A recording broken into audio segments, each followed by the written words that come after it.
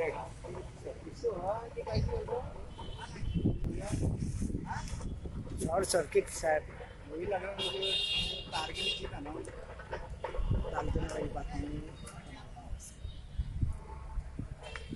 क्या नंबर है गाड़ी का